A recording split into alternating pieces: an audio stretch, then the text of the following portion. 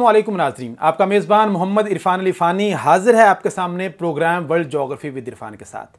गुज्तर programmes के अंदर हमने एशिया को डिस्कस किया हमने यूरोप को डिस्कस किया, अफ्रीका को डिस्कस किया, और ये जो कॉन्टिनेंट्स की तारीख को, वहाँ की सिविलाइजेशन को, वहाँ के कंट्रीज़ और वहाँ की जो कल्चर है, उसको डिस्कस करने का ये जो सिलसिला है, ये जारी है। और आज हम कॉन्टिनेंट सीरीज़ की जो चौथा कॉन्टिनेंट है, उसको डिस्कस करने जा रहे हैं। आज जिस कॉन्टिनेंट के ऊपर मैं बात करने जा रहा हूँ जी, वो कॉन्टिनेंट है नॉर्थ अमेरिका नॉर्थ अमेरिका जो है, इसको continent of the modern world भी कहा जाता है। क्यों कहा जाता है? ये अभी थोड़ी देर में मैं आपसे डिस्कस करूँगा। नॉर्थ अमेरिका की जब हम बात करते हैं तो नॉर्थ अमेरिका जो है, वैसे तो मैप में आपको नज़र आता है कि इसमें सिर्फ़ तीन ममालिक हैं।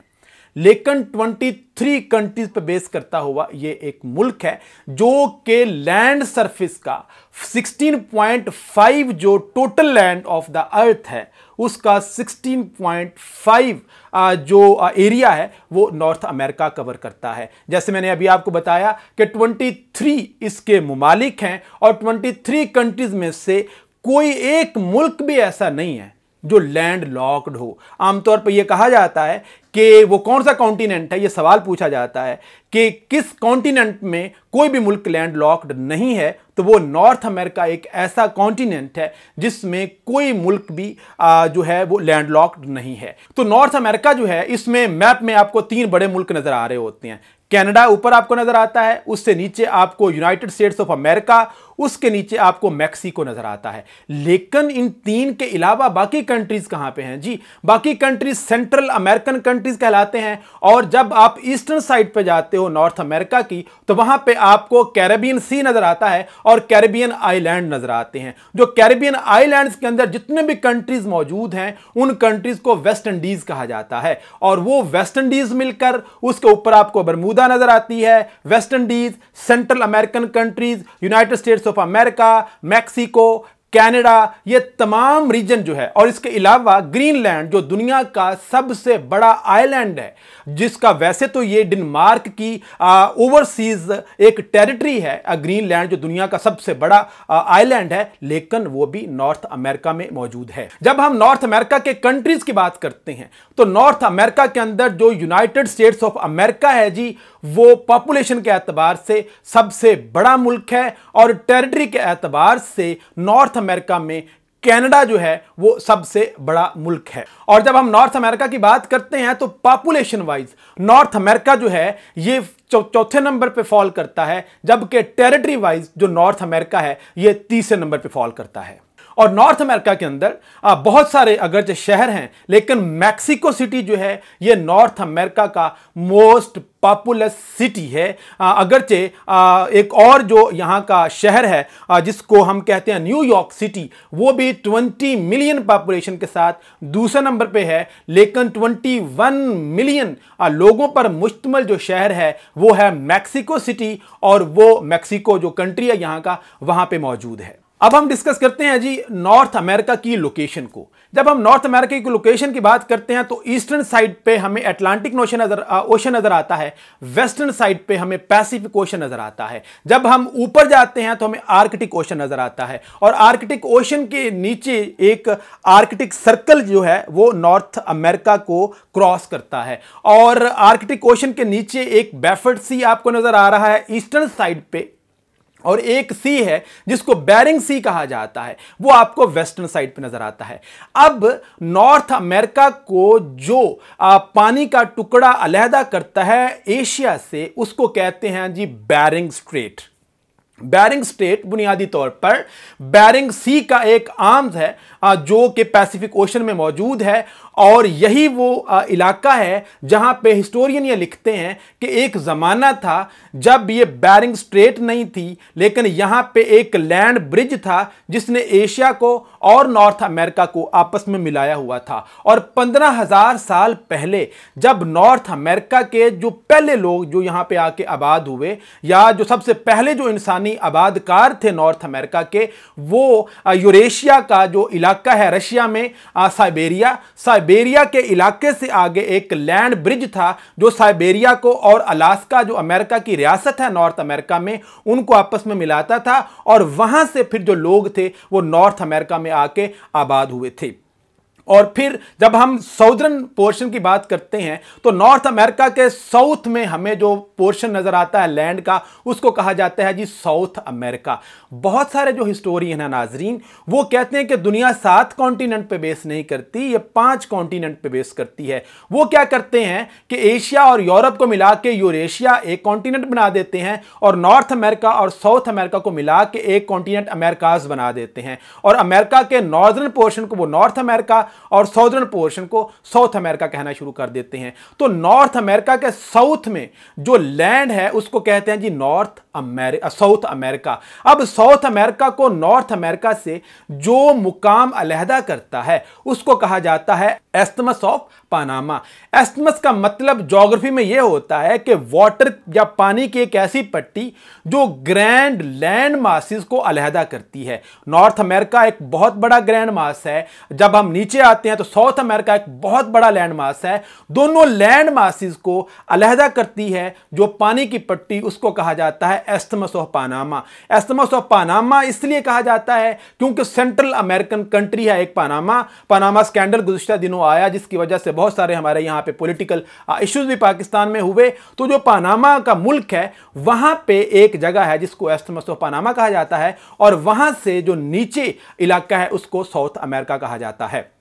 ये तो थी जी साउथ नॉर्थ अमेरिका की हमारे पास लोकेशन। हम आगे आगे बढ़ते हैं और थोड़ा सा ये डिस्कस करते हैं कि हु डिस्कवर द अमेरिका हमारे जहन में जब भी ये सवाल आता है कि अमेरिका को सबसे पहले किसने डिस्कवर किया तो एक ही नाम आता है क्रिस्टोफर कोलंबस हमने स्कूलों में पढ़ा कॉलेजेस में पढ़ा यूनिवर्सिटीज़ में पढ़ा कि क्रिस्टोफर कोलंबस वो शख्स था जो पोर्टुगल से चला, रास्ता भटक गया। रास्ता भटकते हुए वे एक ज़मीन के ऐसे टुकड़े पे जा, उसका जहाज़ लगा, जो कि पहले जिसको दुनिया नहीं जानती थी। और 1492 चौदह वो साल है, जब सबसे पहले नॉर्थ अमेरिका को दरियाफ्त किया गया। और इसलिए मैंने इस वीडियो के शुरू में आपको बताया था कि इसको continent of the modern world भी कहा जाता है। Continent of the modern world इसलिए कहा जाता है क्योंकि चौदह में यह सबसे लेटेस्ट कॉन्टिनेंट है, जो कि दुनिया को इंट्रोड्यूस हुआ था या दुनिया ने जिसके बारे में जाना था। लेकिन एक और शख्स था जिसका नाम था रसल फ्रीडम। उसने एक किताब लिखी है जी रिसेंटली और उस किताब के अंदर उसने ये कहा है कि ये क्रिस्टोफर कोलंबस नहीं था जिसने अमेरिका को दरियाफ्त किया। उसने मल्टीपल थीरीज उस किताब के अंदर डिस्कस की हैं, और बहुत सारे लोगों को अमेरिका की दरियाफ्त का क्रेडिट दिया है। लेकिन आज तक एकेडमिकली जो चीज़ मोस्ट ऑफ़ द हिस्टोरियन जिस चीज़ पे बिलीव करते हैं, वो यही है कि क्रिस्टोफर कोलंबस वो शख्स था। जिसने सबसे पहले अमेरिका को दरियाफ्त किया। अब सवाल यह पैदा होता है कि ये जो चौदह में दरियाफ्त होने वाला कॉन्टिनेंट है, यहाँ पर सबसे पहले इंसान कब आबाद हुए होंगे? तो हिस्टोरियन ये लिखते हैं कि पंद्रह हज़ार साल पहले लोग साइबेरिया के इलाके से एक लैंड ब्रिज के थ्रू जो कि आज बैरिंग स्ट्रेट कहलाती है, वहाँ पे एक लैंड का पोर्शन होता था, वहाँ से गुजर कर अलास्का में आए और अलास्का के रास्ते से फिर पूरे अमेरिका के अंदर आबादकारी उनकी शुरू हुई। और उनको पैलियो इंडियन कहा जाता था, जो सबसे पहले लोग अमेरिका के अंदर आके आबाद हुए। और फिर जब जैसे मैंने आपको बताया कि पंद्रह हज़ार साल पहले इंसान यहाँ पे आए और पंद्रह हज़ार साल में जो वक्त की सितम जरीफी है या वक्त की जो शिकस्त रेख्त है, उसने वो जो लैंड का ब्रिज था between the Eurasia and the Americas वो तहलील हो गया पानी के अंदर और दो अलग अलग कॉन्टिनेंट हो गए। एक को फिर हमने यूरेशिया कहा और एक को फिर हमने अमेरिका कहा। और जब हम नॉर्थ अमेरिका की पॉलिटिकल हिस्ट्री की बात करते हैं तो सेवनटीन सेंचुरी के आखिर में और एटीन सेंचुरी के शुरू में आ, जो दुनिया में जो कलोनियलिज्म का इरा कहलाता है बरतानिया ने फ्रांस और स्पेन ने नॉर्थ अमेरिकन जितने भी टेरिटरीज थी उनको अपनी कॉलोनी बना लिया और फिर उन्हीं टेरिटरीज के अंदर सेवनटीन सेंचुरी के एटीन सेंचुरी के एंड पे जाके इंडिपेंडेंस की मूवमेंट्स चलती हैं और उन इंडिपेंडेंस की मूवमेंट्स के रिज़ल्ट के तौर पर वहाँ पे बहुत सारे जो ममालिक हैं, वो आज़ाद हो जाते हैं।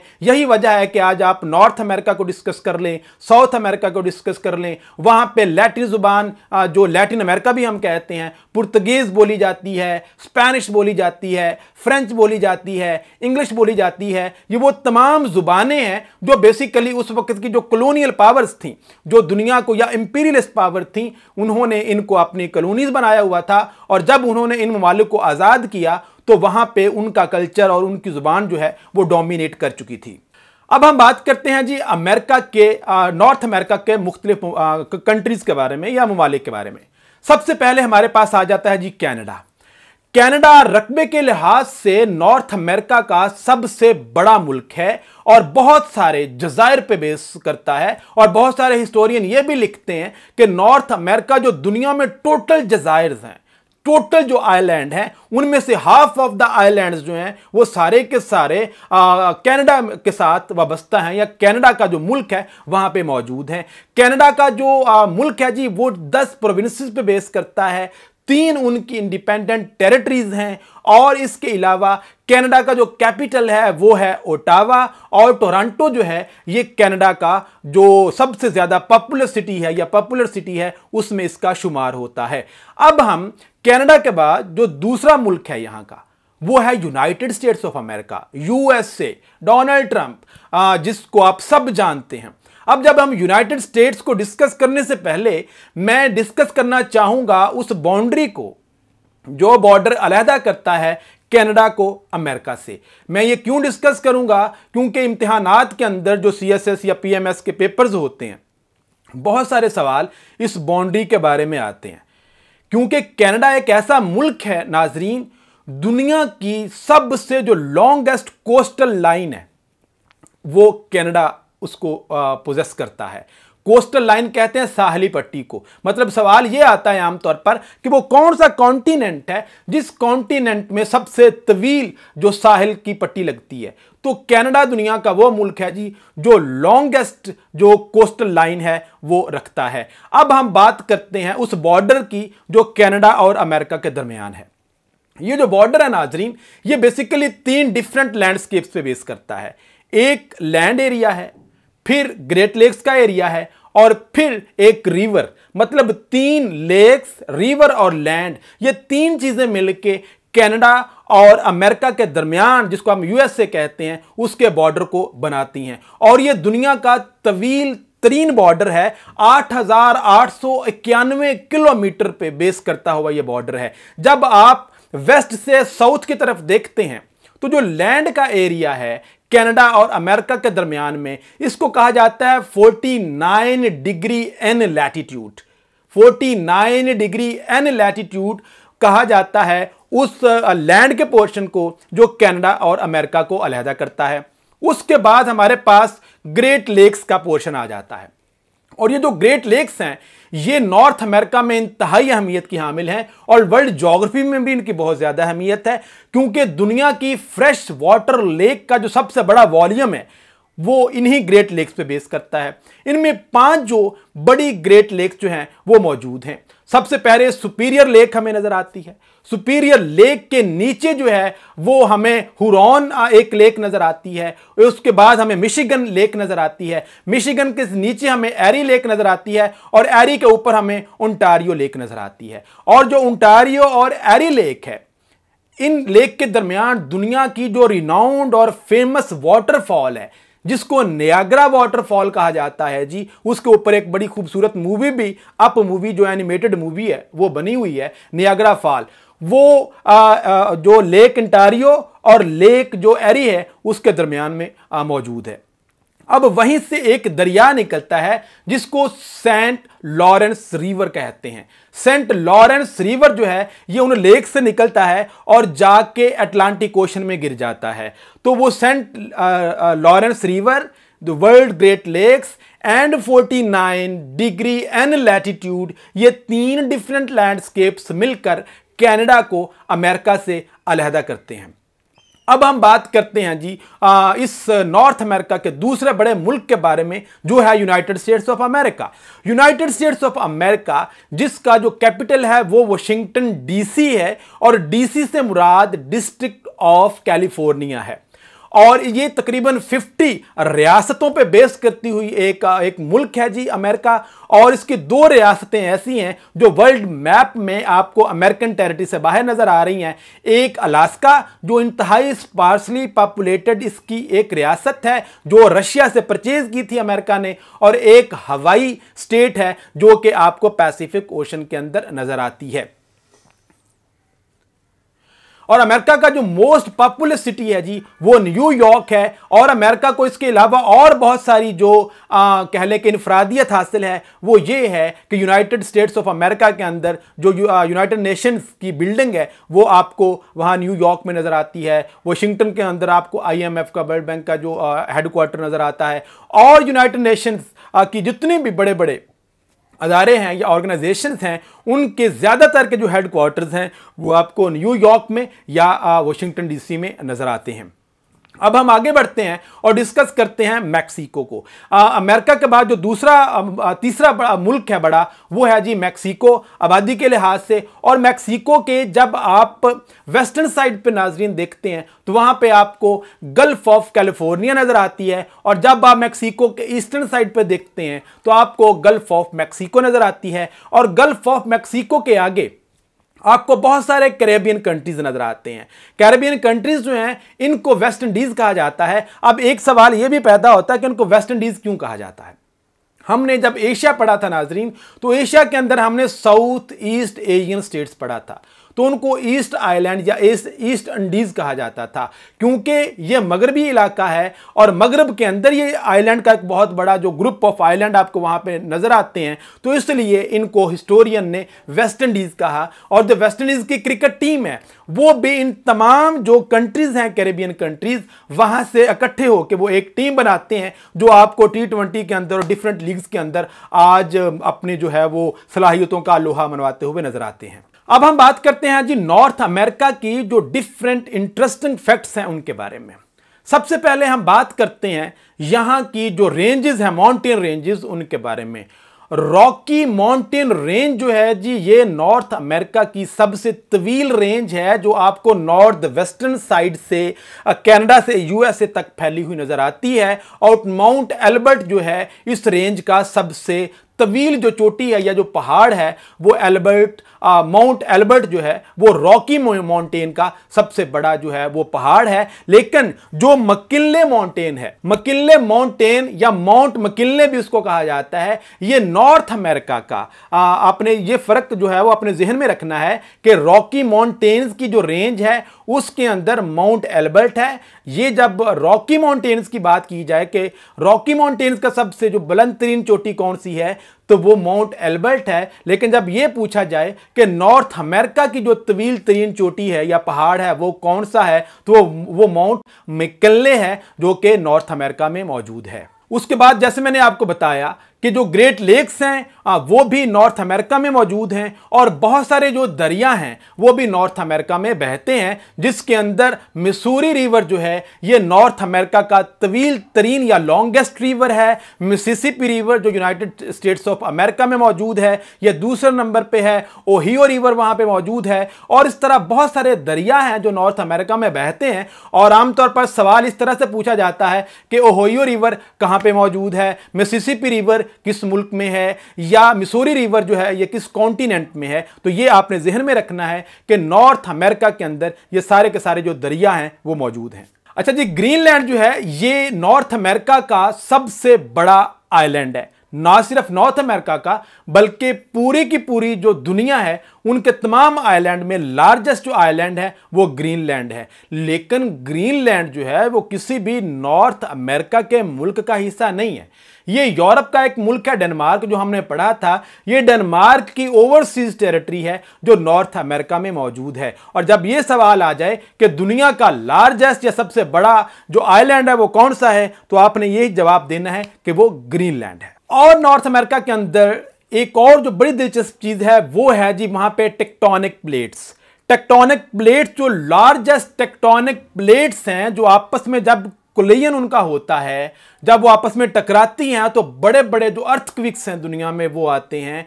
तो जो कैलिफ़ोर्निया और अलास्का की जो टेक्टोनिक प्लेट्स हैं ये दुनिया की लार्जेस्ट टेक्टोनिक प्लेट्स हैं जिनके कोलेयन से बहुत ज़्यादा जो अर्थक्विक्स आते हैं और बहुत सारे जो नॉर्थ अमेरिका के अंदर वैल कैनोज हैं वो सारे के सारे एक्टिव हो जाते हैं और उनकी वजह से आ, अच्छी खासी जो तबाही है उस रीजन में आती है। और इसके अलावा नॉर्थ अमेरिका के अंदर एक वैली है जी, जिसका नाम है डेथ वैली। डेथ वैली इसको इसलिए कहा जाता है कि वो आमतौर पर वहाँ पे 134 फॉरन हाइट डिग्री तक वहाँ का जो दर्जा हरारत है, एक डिग्री तक वो इंक्रीज कर जाता है और वहाँ पे रहना ह्यूमनली बिल्कुल इम्पॉसिबल हो जाता है। इसलिए इसको कहा जाता है जी डेथ वैली और इसके अलावा यहाँ का एक मुल्क है जी क्यूबा। क्यूबा को आप जानते होंगे, फाइडल कास्त्रो के कॉन्टेक्स्ट में फाइडल कास्त्रो जो कि एक रेवोल्यूशनरी लीडर था, जो कि तकरीबन 1975 से बल्कि 65 से आई थिंक लेकर 2000 तकरीबन 10 तक क्यूबा का जो है, वो पहले प्राइम मिनिस्टर रहा और फिर वहाँ का सदर रहा और पिछले कुछ साल साल पहले ही उसकी वफात हुई है। तो फाइडल कास्त्रो जो है, उसकी वजह से भी क्यूबा मशहूर है, लेकिन क्यूबा जो है, वो मुल्क है जो कि गन्ने की पैदावार करने वाला सबसे बड़ा मुल्क है। इसको आमतौर पे sugar bowl of the world भी कहा जाता है। Sugar bowl of the world किस मुल्क को कहा जाता है? तो वो क्यूबा है, क्योंकि वहाँ पे गन्ने की काश्त सबसे ज़्यादा होती है। और इसके अलावा नॉर्थ अमेरिका के अंदर एक वैली है जिसको कहा जाता है जी सिलिकॉन वैली। सिलिकॉन वैली पूरी दुनिया के अंदर इंटरनेट के हवाले से, कंप्यूटर टेक्नोलॉजीज़ के हवाले से या इंफॉर्मेशन टेक्नोलॉजी के हवाले से अपनी एक ख़ास अहमियत की हामिल है और ये जो सिलिकॉन वैली है, ये भी सैन फ्रांसिस्को के अंदर अमेरिका में मौजूद है। और इसके अलावा, अमेरिकन म्यूज़ियम, एक वहाँ पे है, American museum of the natural history. American museum of the natural history जो है अब वो दुनिया का सबसे बड़ा म्यूज़ियम है जो कि अमेरिका में मौजूद है और इस म्यूज़ियम के अंदर दुनिया के जो कदीम तरीन जो नवादरात हैं, वो आप देख सकते हैं। और नॉर्थ अमेरिका के अंदर एक और बड़ी इंटरेस्टिंग जो है जी पार्क, दुनिया का जो सबसे बड़ा पार्क है, वो भी नॉर्थ अमेरिका में मौजूद है और उसका नाम है the Wood Buffalo National Park. The Wood Buffalo National Park जो है, ये भी आपको दुनिया का सबसे बड़ा एक नेशनल पार्क है, जो कि अल्बर्टा प्रोविंस ऑफ़ कैनेडा में मौजूद है। और इसके अलावा, जब हम नॉर्थ अमेरिका की पॉपुलेशन की बात करते हैं तो 75 परसेंट जो नॉर्थ अमेरिका की पॉपुलेशन है जी, वो क्रिश्चियनिटी पे बेस करती है और इसके अलावा ज्यूविश पीपल वहाँ पर रहते हैं, और मुस्लिम जो पॉपुलेशन है, वो रहती है। लेकिन सबसे ज़्यादा जो वहाँ की पॉपुलेशन है 75 परसेंट जो लोग हैं,